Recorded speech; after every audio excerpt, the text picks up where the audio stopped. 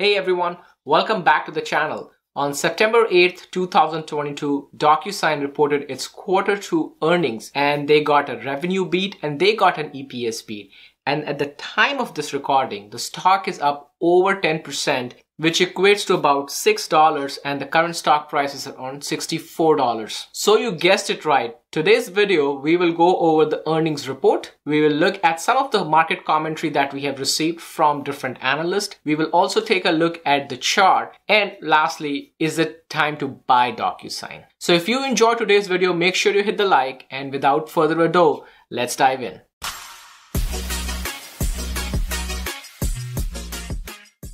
If you have been following DocuSign for a while now, you might know that in the last one year, DocuSign is down 77% from its all-time highs. As you can see in this chart, DocuSign had these big dips last three times. Why? Because every time they reported last three earnings, the stock fell sharply. However, this earnings report, it was a reversal where the stock actually jumped after the earning was reported. DocuSign had the revenue beat, they had the EPS beat, and overall the company showed some resilience and taking the steps in the right direction. Now, if you haven't been following DocuSign very closely, you might have missed the news that, that the CEO of DocuSign, Dan Springer, had stepped down back in June. And in this earnings report, we had an interim CEO who was on the board of DocuSign join the call and provide the CEO remarks. Now, if you have not seen the earnings call, I highly recommend that at least you should look at the Q&A section and I'll put the link right over here. So definitely check that out.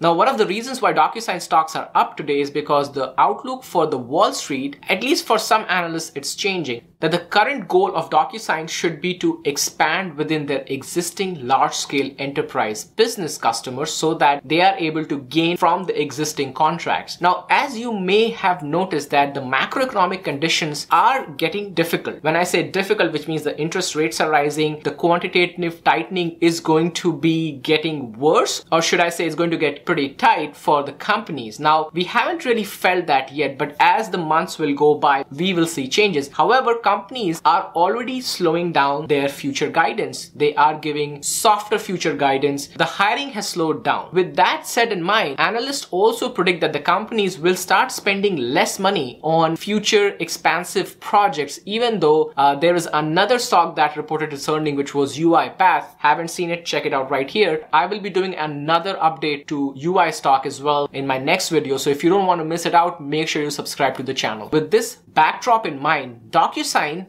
may or may not be able to gain more customers and we will see that in the revenue forecast when we look at the earnings report. However, for now, DocuSign has shown some resilience and has kind of changed the narrative in some analysts. The total revenue for the company in quarter two financial year 2023 came out to be about 622 million, which was uh, up of 22% year over year. If you notice on this left hand side, the company was growing at 39, 49 and 45% year over year. Now the company is only growing 22% year over year. Now we do expect that in future the revenue forecast will even slow down. Here is where it gets little tricky. As you look at the trend line for billing and revenue growth, yes, the revenue has grown 19%, but looking at your previous quarters, you can clearly see the trend line is pointing downward. And you can see the similar trend in the revenue strain as well. In financial year 2021, they had 125,000 customers. In financial year 2002, they grew to 170 20k customers. However, in quarter 2 financial year 2023 so far, it's only up to 191k. So you can, you can see the trend again is slowing down. It is growing at a reduce pace. And this is the slide where I put a lot of emphasis even in my last earnings call recap for DocuSign that the customer demand drives growth at scale. It's slowing down considerably. We were at levels of 120 plus percent. Now we are down to 110 percent. And in any SaaS model, one of the main reasons that you are investing in a company is because you are focused on that the company is going to grow at a massive rate and massive pace. But at this point in time, as the growth slows down, suddenly the valuation for the company does not look very attractive. Even though there's a lot of competition in electronic document signing space, DocuSign still remains the leader. So there is no problem in their market dominant position. However, as the growth slows down, which kind of also tells you what's going on with the industry itself. And the reason as an investor you should think about that, it's not because the revenue or the growth is slowing down for DocuSign is just DocuSign's problem. Is the total addressable market reducing or did we overestimate the total addressable market? Those are the questions that you should also think about. And lastly, the future guidance, the total revenue they're expecting for the entire fiscal year 2023 is between 2.4 to 2. Point, about 2.4 billion. Subscription revenue will be about 2.4 billion as well. You're looking at a non-GAAP gross margin of 79 to 81% and the operating margin to be about 16 to 18%. If you look at DocuSign's chart, the stock has closed in negative for the past 13 months. So it will be very interesting to see that if this month DocuSign actually closes above in the green. If we use the fib level to see what are the different levels that we can track DocuSign, we would probably see DocuSign hitting a resistance around the 6528 and then that could be one and we would like to see if DocuSign can make a 6221 as their base. Because of this recent gap up, I do expect DocuSign to somehow come back and trade in the range of about 5886 and about 53.36. That is the range that I'm really looking DocuSign to be trading at least for the next couple months. Might be completely wrong on DocuSign might be able to go back up to its previous highs which they which was around the $69 mark. Keep in mind the risk to reward ratio for DocuSign. Currently as the growth slows down, the growth story changes. A company that was bringing in 40, 50% growth, if they are going to project about 10 to 12, 13% growth, then it does not provide the same value it was providing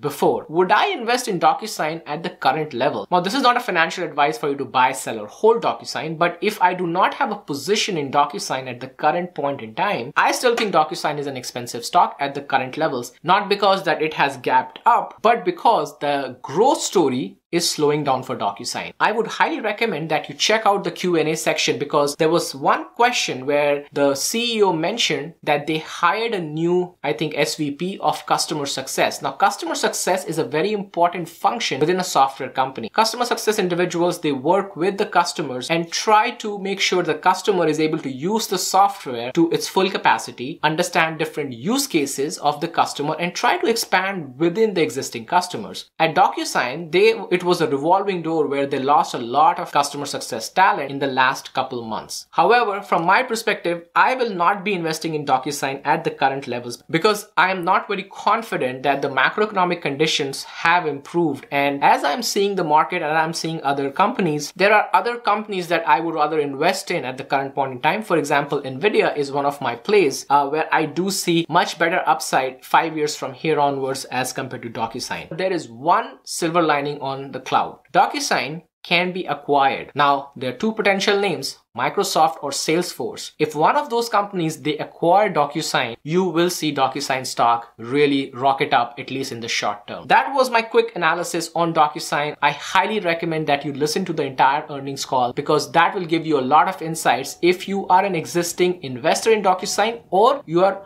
potentially planning to buy DocuSign. So with that said, if you found any value in today's video, make sure you hit the like, click on subscribe and ring the bell notification. I will see you next time Investor Family, but don't forget to invest for tomorrow.